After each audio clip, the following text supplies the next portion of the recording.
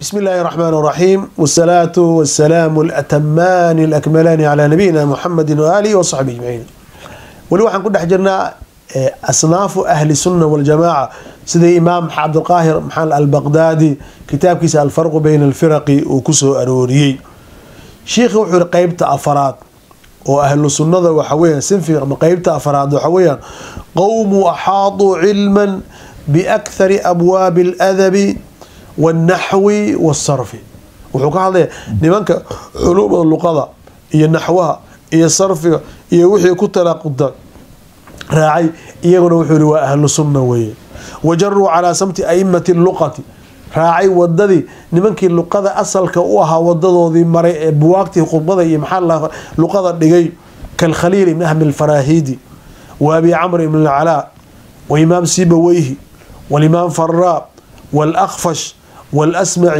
wاlmaazini wa abi cubayd wasaa'iru aimati naxwi min alkuufiyiin walbasriyiin nimankii maxaa la cilmiga naxwada qaatay ee faafiyey ee ummadda baray ee talifaad ka sameeyey ha ka yimaadeen kuufa ila laba madrasaa jirtay kuufiyiin iyo basrab ha ka yimaadeen iyo wxla marka iyo xataa intii ka dambeysay markii maxaa lahay luqada meelo kale aaday nin walba wadadaa raacay maxay laakiin sharduga? Aladiina lam yakhliduu cilmahum bidalika bishayin min bidaci lqadariya nimankaa cilmigooda aan ku dheehin waxyaalihii laga wariyay qadariyada ama raafidada ama khawaarijtuu leeyahay. Waman maala minhum ilaa shay min ahwaai laad iyo maxaa lalahaayay qofkii wuxuu ihi aada ahl ahwaadaada madhabkoodii qofkii aaday buu ihi lam yakun min ahli sunna kama mid ahaanin buu leeyahy walaa kaana qowluhu xujatan fi luqati wanaxwi xataa wuxuu hadalkiisa marka cilmiga luqa la joogo xujo ma ahan la daliishan maayo marka nimankaasi wuxuu guud ahaan waxa weeyaan waa ahlu sunnati waljamaacati waayo haddii hataa qof ka mid uu gafo oo uu khaldamo ibn adanka waa khaldami karaa laakiin waxa weeyaan ictibaarka waxa weeyaan qofka mujmalkiisa ama guud ahaan waxa uu yahay sheikh raxmat ullaahi caleyh qeybta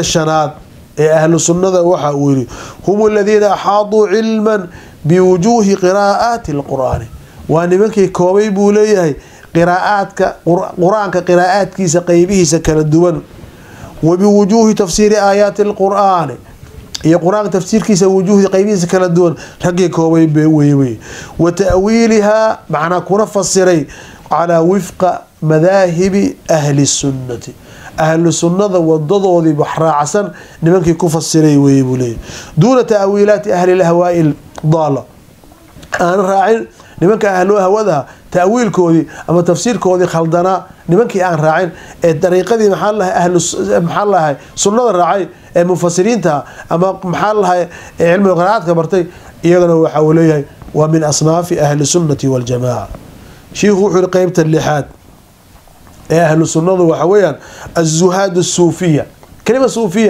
waa kelimad waxa weeyaan waag maxaa lahay in badan loola jeedo dadkii adduunye ka tagay oo aakhare u jihaystay nimankii zuhaada adduunye nacay ee maxaa lahay aakhare u jihaystay aladiina absaruu fa aqsaruu manaa absaruu manaa adduunyay ogaadeen aakhare wax laga sugaya ogaadeen fa aqs adduunyay ka gaabiyeen dan kama ayan gelin.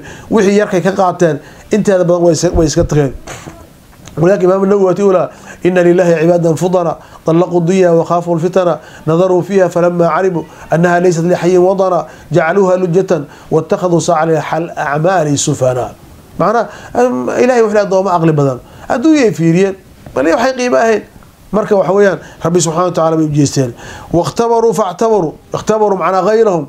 wixii ay soo mareen bay ogaadeen. Way cibaaro qaateen waxay wadaatan oo adduunyaa waa lagu halaagsamayay aakhare u jihaystan waraduu bilmaqduuri. Weliba waxay ka raali noqdeen. Wixii yaroo ilaahay subxana wa tacaala uu qoray ayay ku raali noqdeen. Wa qanacuu bilmaysuuri. Waxay ku qanaaco qaateen. Wixii sahlanaa ayay ku qanaaco qaateen. Wacalimuu ana asamca walfuaada walbasara walfu'aada kullu ulaahi kaana canhu mas'uulu can alkhayri washari waxay ogaadeen aragga iyo maqalka iyo qalbiga wax walba in maalinta qiyaama wixii khayr iyo wanaag ahaa iyo wixii shar ahaba in la isweydiinayo. Wa muxaasabun calaa mathaaqiili dari macnaa wax walba in la isku xisaabinayo. Faacaduu khayra alicdaadi liyowmi almacaadi marka waxay ogaadeen waxay u diyaarsadeen aakhiray u diyaargaroobeen wajara kalaamuhum fi dariiqay alcibaarati walishaarati calaa samti ahli lxadiidi marka hadalkooda iyo warkooda iyo dhaqankooda waxay mareen wadadii nimankii ahlu xadiidkaha duuna man yashtari lahu lahu walxadiid aan ka mid ahayn buu leeyay kuwa maxaa lalahaa ee lahu alxadiid maca hadalkaa qiimaha lahayn iibsanayo adduunyihiisa aakhiriis ku gadanaya. Laa yacmaluuna alkhayra riyaan wuxuu ihi camal khayrka uma sameeyaan istutus uma sameeyaan. Walaa yatrukuuna xayaan. Camalkii wanaagsanaana uga tegi maayaan. Iyagoo kacabsa iyagoo xishoodanaya ka xishoon maya camalka wanaagsan inay kama xishoonayaan. Diinuhum tawxiid. Diintooda waa alla hogaansamida towxiid wey wanafyu tashbiih. Ilahi subxana wa taala wax la-eg inay ka tashbiihiye ay ka diideen marka sheekh raximah llahu tacaala wuxuu leeyay madhabun tafwiid tafwiidka haddii culimadu waxay leeyihiin waxaa loo in bahashay maxaa ama sifaatkii kurigeeda la ogaado hadda ilahi subxana wa tacaala unbaa iskale watawakulu caleyh macna madhabkooda inay ilahay tala saartaan. Watasliimu liamrihi ilahay amarkiisa inay isu dhiibaan. Wاlqanaacatu bima rusiquu inay ku qanaaco qaateen wixii lagu irsaaqay walicraadu can اlictiraadi caleyh ilahay inay ka hortagaan oy maxay ictiraadaana ay iska daayeen. Dalika fadl اllahi yuutii man yashaa wallahu du lfadlin kaas waa fadliga ilahay qofku doonu siiyo fadliga ilahayna aad buu u yahay sheikh wuxuu yihi qeybta lixaad sinfiga lix todobaad waxa weyaan qowmun muraabiduuna fi duquuri lmuslimiina fi wujuhi lkafara. Niman wuxuu i dhufayska ku jira oo xuduuda taagan oo gaalada hortaagan buu ri yujaahiduuna acdaa almuslimiina. Waxay la dagaalamayeen muslimiinta cadowgooda. Wayaxmuuna xima lmuslimiin muslimiinta maxaa la xeeradooda mase maxaa lahay boordarkooda iyo maxaa lahay xuduudooda ay ilaalinayaan sheikhu wuxuu leeyahay wayadubuuna can xariimihim wa diyaarihim.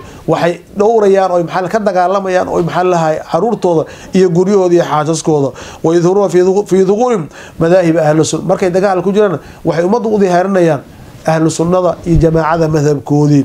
Wahum aladii anzala allahu tacala fiihim qowlu waa kuwa ilaahay uu ku soo dejiyey waaladiina jaahaduu fiina lanahdiyanahum subulana wa ina allaha lamaa almuxsin ilahi wuxuu leeyahy kuwa wadadeena ku dagaalamay waanu hanuuninaynaaba ilahi subxana wataala wadadeena ayaan ku hanuunin. Ilahayna kuwa muxsiniinta ayuu la joogaa. Zaadahum allahu tawfiiqa min fadli yowmini allah u buu yihi tawfiiq iyo maxaa laha iyo khayr fadligiisa iyo galladiisa. Wuxuu yihi qeybta sideedaad ee ahlu sunnadu wuxuu yihi caamatu lbuldaani alatii qalaba calayha qalaba fiiha shicaaru ahli sunnati. Wuxuu yihi dhammaan magaalooyinka uu ka qaalib noqday oy ka buuxsantay ama ay taalo calaamadaha lagu yaqaano ahlu sunnada duuna caamati lbiqaa'i alatii fiiha dahara fiiha shicaaru ahli lahwaai daalati aan ahayn buu ihi magaalooyinka iyo tuuladu uu isaguna ka qaalib noqday ahlu maxaa lalahay dalaalada iyo hawada ee shicaarkooda iyo calaamadooda wainamaa arada bihada sifa min caamati aladiina ictaqaduu taswiim culamaai sunati waljamacati fi abwaabi alcadli waltawxiid wuxu waxaan ula jeednaa buu leeyay nimanka caamada ee taswiibiyey ogolaaday waxay culamadu ahlu ku yidhahdeen tawxiidka maxaa lalahay ee abwaab tawxiidka iyo wacdiga iyo waciidka.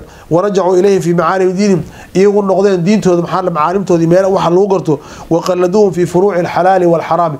Culimadii ahlu cilmigi ku daydeen furuucda ku tacalluqda xalaasha iyo xaaraanta walam yactiqiduu shaya min bidci ahli lahwaai daala nimankaa ma ayan maxaa ictiqaadin. Nimanka ahlu hawada waxyaalaha ay sameyneen wa haulaai huwa simatun maxaa lalahay marka wuxuu leeyay fa haulaai asnaafu ahli sunnati waljamaacati wa majmuucuhum macna kuwaasi waxa weya waa ahlu sunnada jamaacada asnaafto qeybahoodii weeye. Asxaabu diini alqawiim waa kuwa diinta toosan asxaabtoodii weeye. Wasiraad almustaqiim waddada toosan dadkii raacay weeye. Habatahum allahu tacaala bilqowli thaabit fi lxayaati dunya wa fi allaha ku sugna hadalka toosan adduunya iyo aakhiraba. Inahu bilijaabati jadiir wa calayha qadiir. Marka intaasoo marka sheekh waxa weya raxmat ullahi caleyh cabdulqaadir albaqdaadi kitaabkiisa alfarqu bayna alfiraq wuxuu kaga sheekeynaya sideedaa sinfi oo maxaa lalahay oo ahlu sunnada. Macnaheedu maaha inaanay gafaynin macnaheedu maaha inuu khalad ka dhacaynin macnaheedu maaha inay zallo ka imaanin macnaheedu waxa weeya waa ibni aadan way khaldami karaan laakiin camalkooda iyo qaalibiyadooda iyo wanaagooda waxay rabaan inay wadayn cala salatu wasalaam iyo saxaabadii ay maraan marka adiga isfiir marka dadkaan la sheegay qeybtee ku jirtaa? Qeybtee ku jirtaa? Muhiim maaha magac. Waxaa muhiima sifaadka la sheegay ma ka mid tahay. Dadka toosan ee wadna sala salaam maray ee wadadiisii ogolaaday ee saxaabada ka raali noqday ee quruun mufadala u ogolaaday muslimiinta ixtiraama muslimiinta weyneeya culimada weyneeya sharfa muslimiintu ay ka nabadgalaan oo daa'iman hamigiis u yahay inuu waddada ilahi subxana wa taala ilahay ku hanuuniyo mayaa tahay mise magacaad keliya sheeganaysahay waxaa dan kaleeta ayaa wata marka nin walba oo nagan ka mid a inuu isfiyoridan adiga wadadee ku jirtaa ama kooxdee ku jirtaa allah naga dhigo adoomaka saalixiisa saalixiina wadiis ilahi hanagu hanuujiyo hanuuniyo. Wasalaamu calaykum waraxmat ullaahi wabarakaatuh